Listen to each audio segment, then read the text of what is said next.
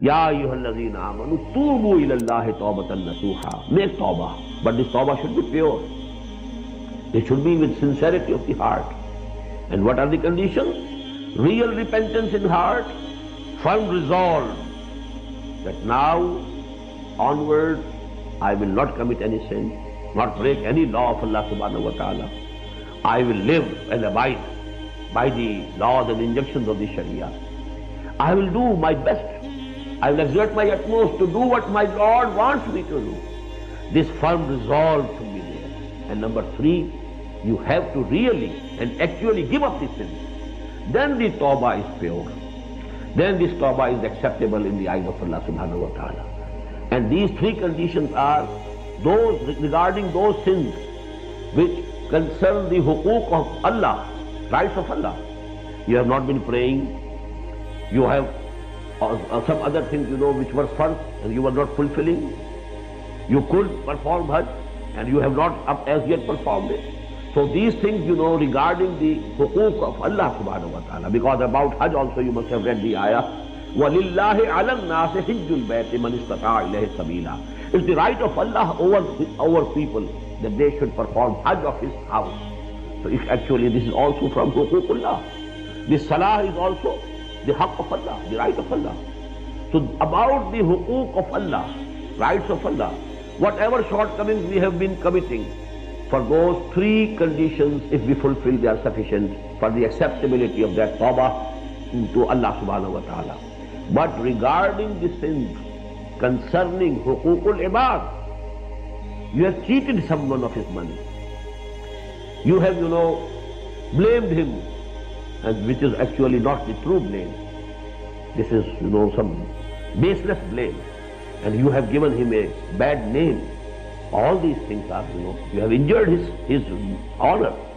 Then you must get the forgiveness from that person. Or if he has died, you do something and ask Allah subhanahu wa ta'ala that the, the sawab and reward of this good deed of mine should be credited to his account. Because if you can do it today, it's much better.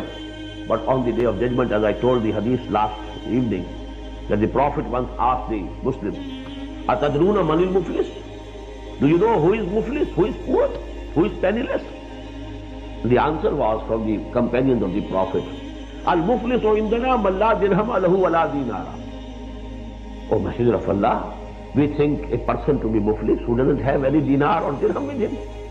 The Prophet said, no, the, the, the muflis of my ummah will be a person who will come on the day of judgment with a very big amount of, you know, prayers and sawm and hajj, many hajj he performed.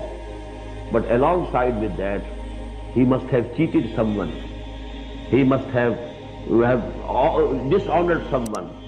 So he had, you know, injured and destroyed the hukuk of people, hukuk al-ibad.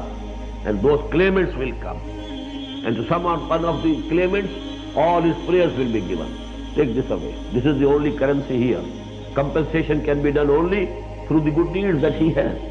To someone else, all his hajj will be given. All his sawms will be given. Nothing will be left with him. And still the claimants will be there. Now the sins of those claimants, they will be added to his account. And he will be finally thrown in the fire of hell. He is the muflis of my ummah. So this is the importance of hukukul ibad, which, take, which we take very lightly.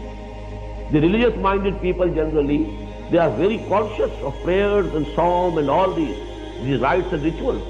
But they take all these things very lightly. While we find that in the teachings of the Quran and teachings of the Prophet more importance is attached to the rights of people.